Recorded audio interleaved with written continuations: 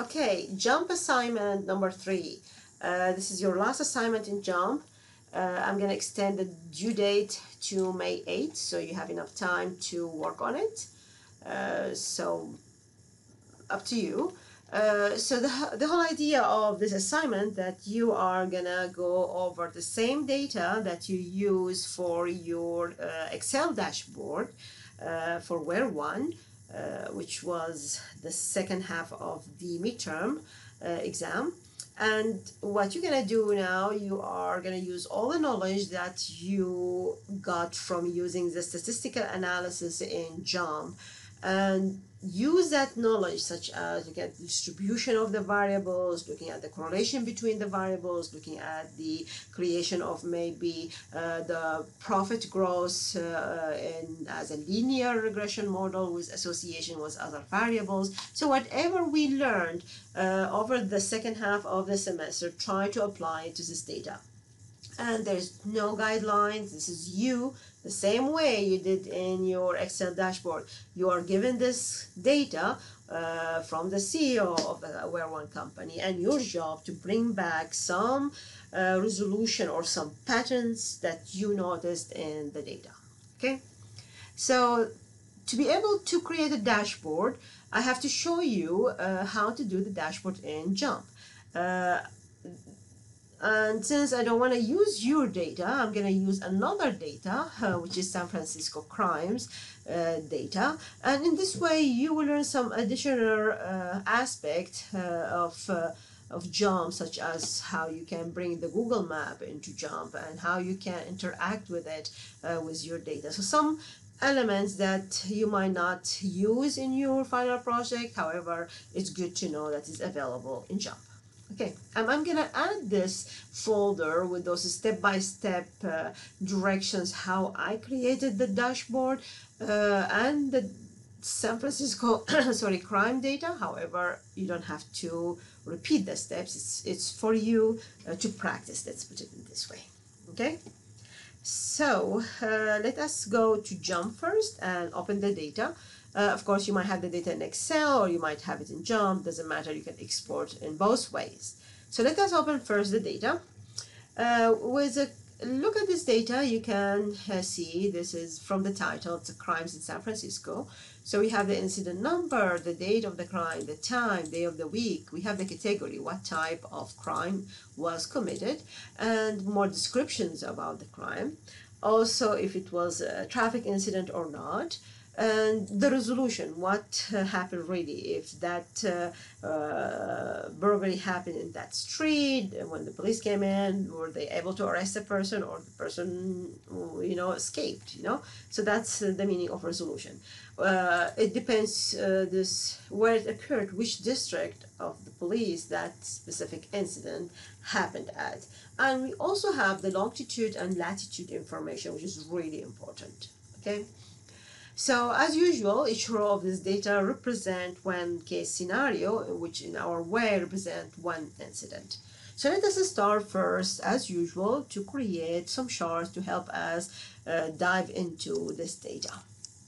I'm not going to create distribution because you learned all those stuff. So I'm going to create some stuff that you are not familiar with to add it to your repertoire uh, uh, about JMP. But feel free to use the things that you learned during the second half of the semester in your final project as well. And you must maybe. Okay, so let's open the graph builder. Based on this data, so imagine like you are hired as analyst uh, for this police headquarters and they're asking for your help in uh, analyzing this data. So what, what kind of help you can give them? So imagine the following, that you really want to know where most of those incidents occurred, when they occurred, and how many of them occurred. And if you can really uh, see a pattern in those incidents, you might tell the uh, the chief of the uh, of the district that uh, uh, they should put units, police units in that area in that specific time. So this way they can uh, lower the the the amount of incidents happening in that district. So let us start with something we didn't learn this semester, which is the uh, what is called the heat map. So according to this data, I want to look at the beginning. Here's the um, the exact police district. I want to see it. Uh, they're really distinguished between one district to other districts. We always know that yes, uh, some areas are more dangerous than other areas in any city uh, in the world. So let us map that.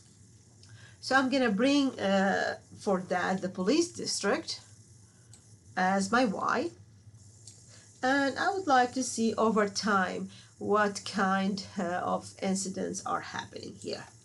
How many incidents are happening. So remember, this information is about incidents. So every row is representing an incident. So mentioning the district, that's mean one incident happened here. We 820 incident happened in that specific first district. And the park, uh, we have about 534 incidents happened. Okay, so let us bring now the time and see if there is some pattern okay as I said some you have to get used to it while using more your application so that is not really uh, a descriptive way as a uh, plot box uh, to give me information. So I'm gonna use uh, as I said the heat map. So by click on the heat map you get the following. As you can see in instantly you can tell a story about what's happening in San Francisco. Now this just this corner is highlighted only because I have selected the incident so I'm gonna just uh, take it away. Go back.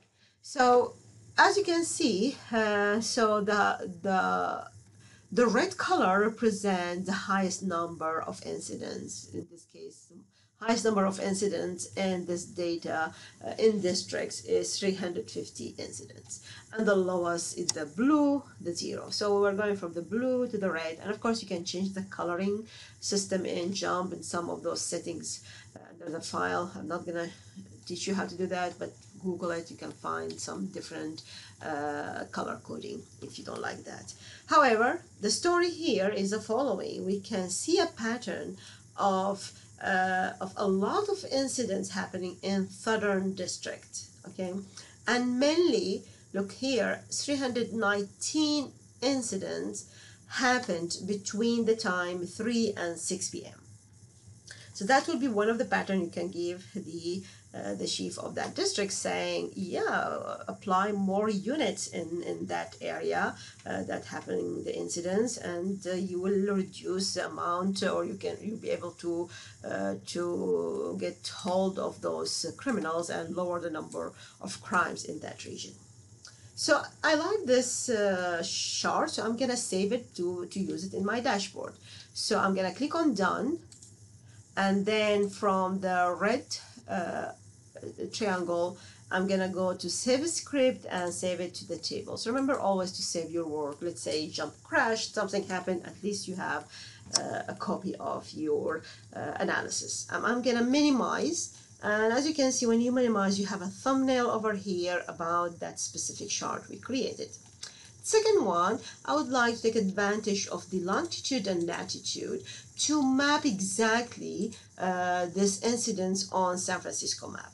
So let us see how we can do this. Click in the graph, graph builder, and then, and more specifically, what I'm going to try to do uh, is I would like to uh, see exactly uh, based on the information we have here, uh, where the concentration of specific incidents are happening.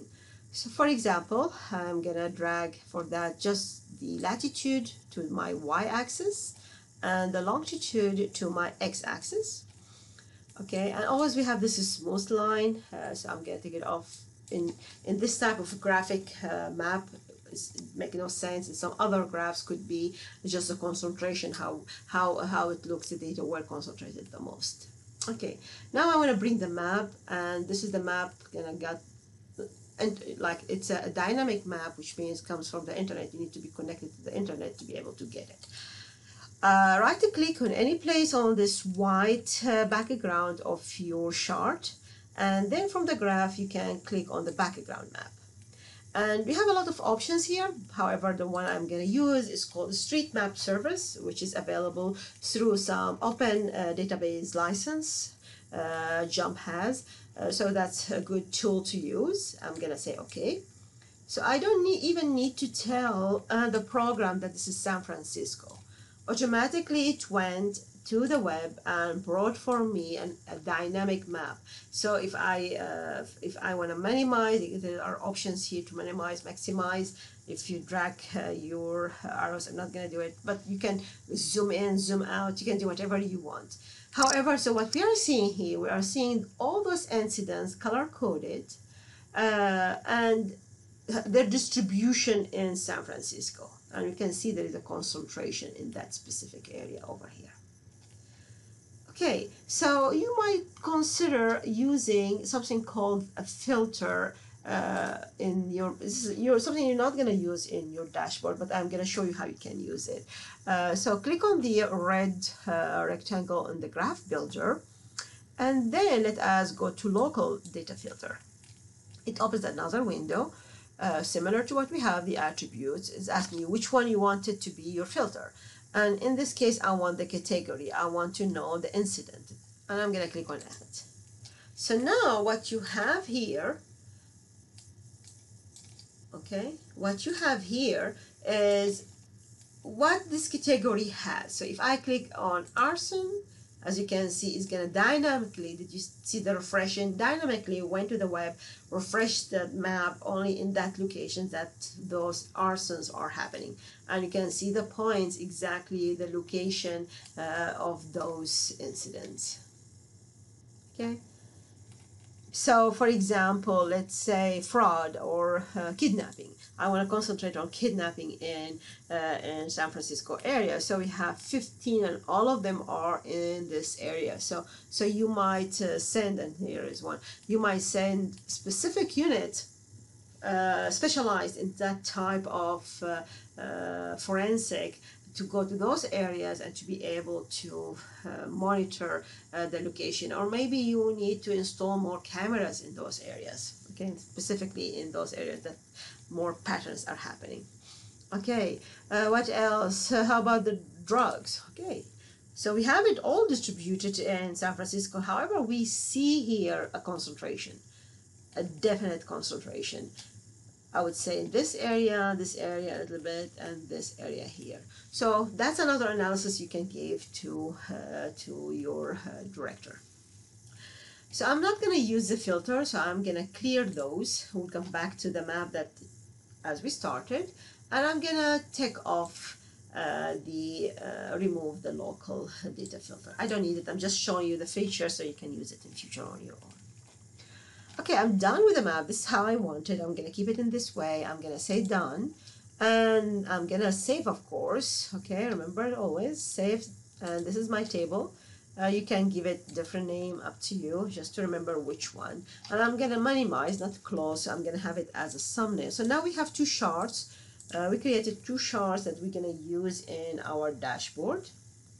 Beside that, I'm gonna go ahead and, and create some type of uh, uh, of information about okay we know we notice in our last uh, chart that we have different uh, type of incidents. We, i want to know how many overall and which one is the highest number in san francisco and which ones are the lowest type of crimes in san francisco so asking that question, it means that I want uh, to know exactly based on those categories over here, their numbers, counts, just counts.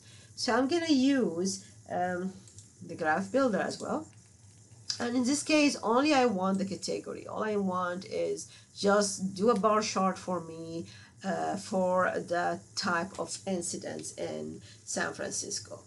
If you it's it will look better if we sort it. So I'm gonna right click on the y-axis and order by, uh, let's say descending order, or maybe even ascending order. Okay, that's even better. Okay, so ascending order. Okay, it's going from zero to the top, and you can see here how much about 2097 cases, incidents uh, of attempt theft of property.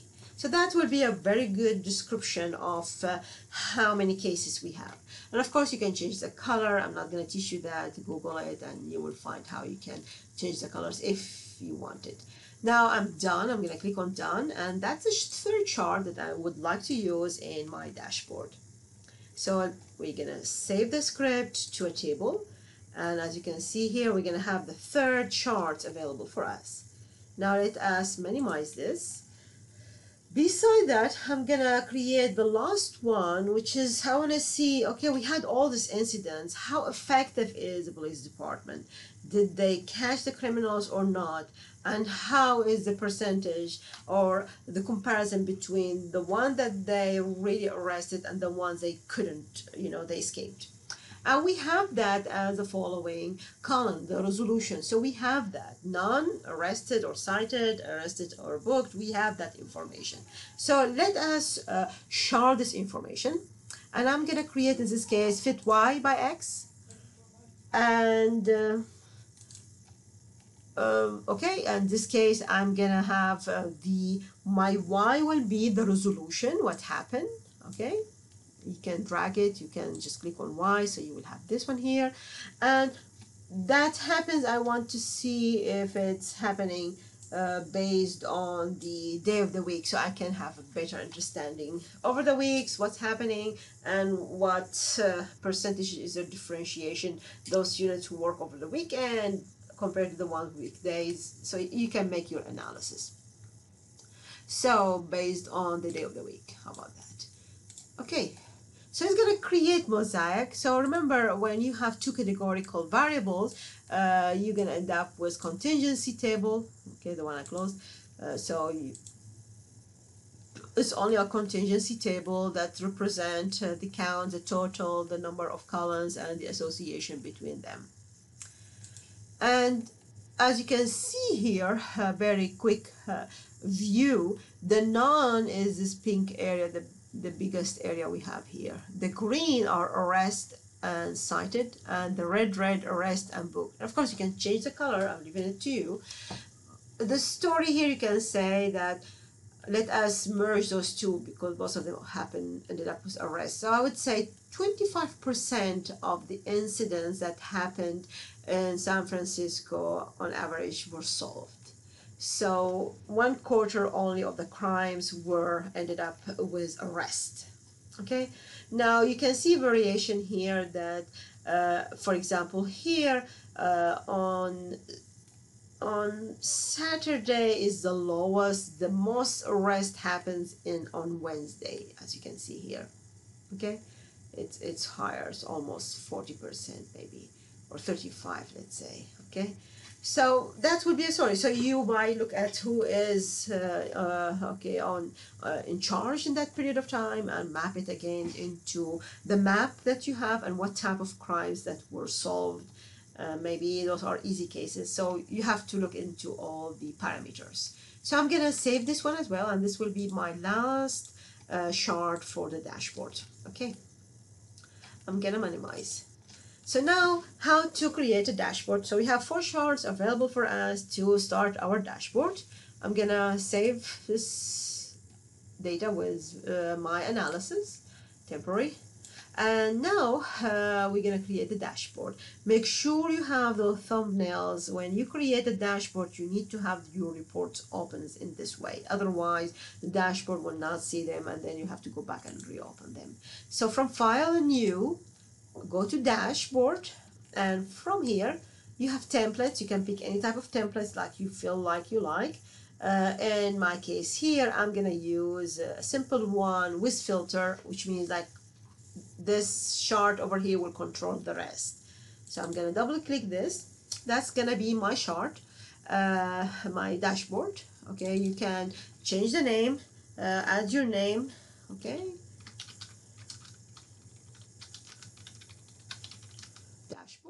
okay that's it. You can make it maximize it uh, the font etc but I'm not gonna go into that. Uh, what else? You can add pictures to your dashboard. You can add textbook whatever you want. Uh, you can add uh, data filter as well. The one I showed you you can add it here. In the time being I'm not gonna do any of those but feel free to use it on your data. You know how to use it now.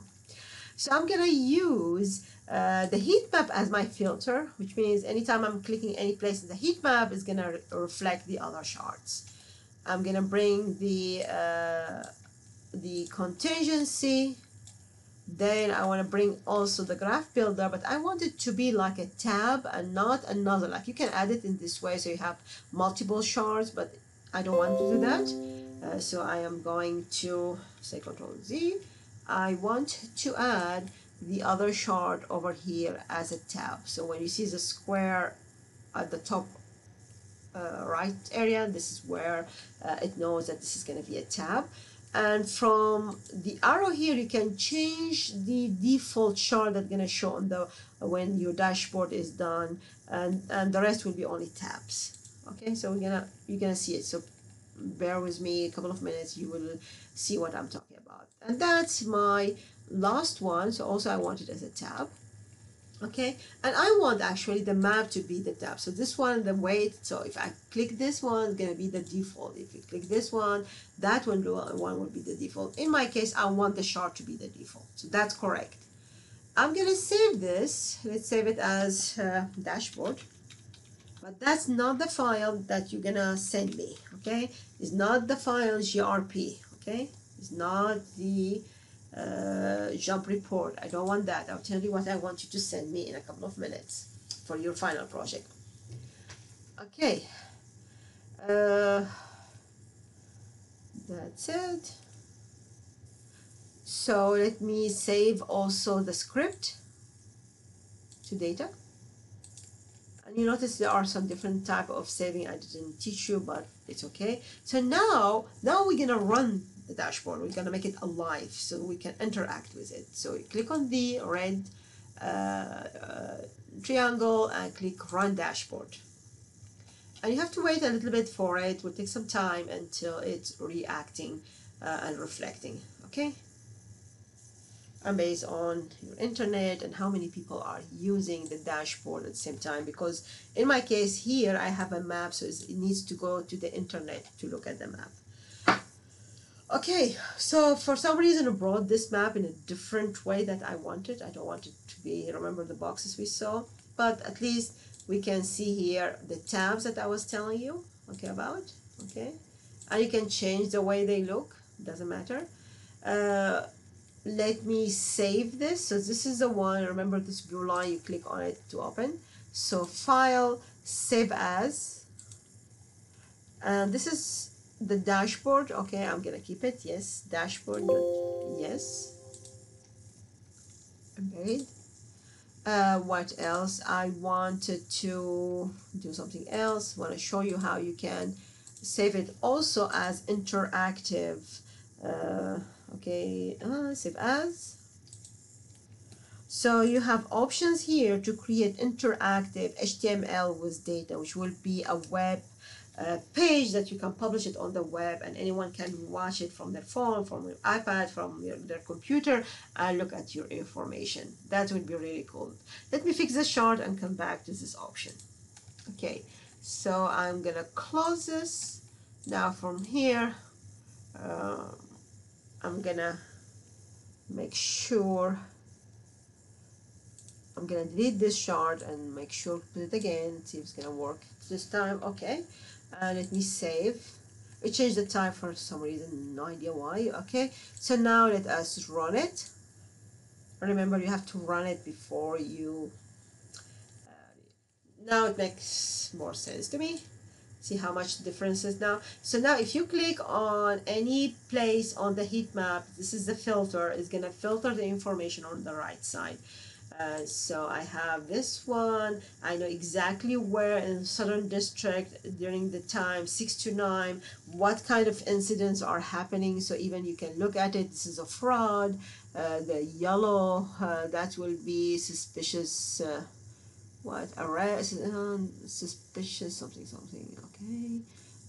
What else? We have OCC, we have to know what the meaning is. Based on the data, what occurrence, okay, suspicious occurrence so that's and as I said you can deselect this by clicking the control one more time. So now we have our map perfectly uh, the way I would like to have it. And also here so as you can see it's inter interactively reacting to your filter. And that's how the way we want it. So if you want uh, the lowest uh, number of crime remember? So let's see here three incidents so this is during that period of time. Uh, if I'm interested in that area specifically and uh, can tell you how many incidents 232 and look at the variety. So now we have better understanding uh, of the type of data. Also remember the contingency when I told you that I want to know okay so this specific one so let me unselect. Okay this is all the data let's say this one here. Uh, between 3 to 6 okay and in that uh, specific time in if you remember in the southern district so uh, the green is was not resolved uh, so also we have Sunday 25% were ended up with arrest so that means the unit was working really over the weekend as you can notice. Highlighting a lot of complaints okay and the lowest arrest here not the pattern we saw in the other data uh, was actually Monday, Tuesday, and Thursday. Wednesday was higher arrest. So, so now the data. Well, I'm happy with this data. I'm gonna create an interactive uh, HTML page. So I'm gonna save it as. Uh, okay. Um, this one here. So when you're gonna send me uh, your project, I want you to send it as a JMP report. Okay, this one but from the running section that you saw me now. Uh, okay, so let me select the interactive one and I say save. And I'm gonna show you what happens. Gonna open the web, open the browser, and now see uh, this if you publish this over the web, anyone has access to this data will be able to see it. Okay. Uh,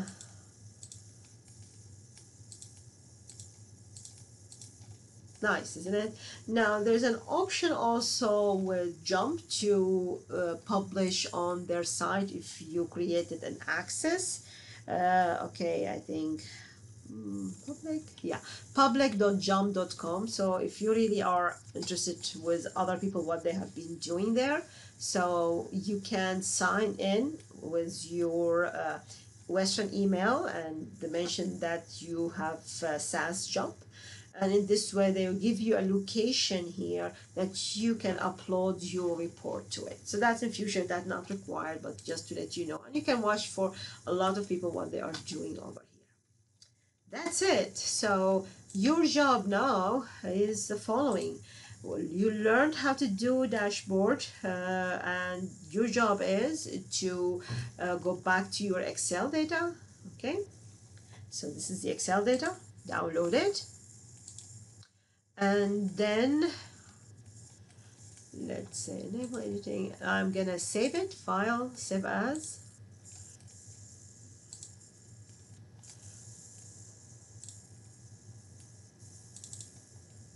uh, let's say here okay I'm gonna save it under the folder bdn save now you're gonna go to your JMP let me pause Okay, so let us bring your project data from file, open, and uh, the finance sample data. We're gonna open it. Uh, it's gonna look at it, make sure everything's correct. Okay, it's seeing the uh, it has column header. Okay, the header is in top. The number row start of one, perfect, and say import. Now from here, you're gonna start working on your data and creating your charts. Make sure to save your project as JMP. So this is final uh, JMP dashboard. Okay, and you work on your dashboard and you're gonna uh, send me only, we're gonna upload to, um, uh, to Blackboard two files one the Word document to show me what kind of analysis you tried on your data and you might take screenshot of it as you wish and the second file will be your uh, JMP report uh, dashboard. That's it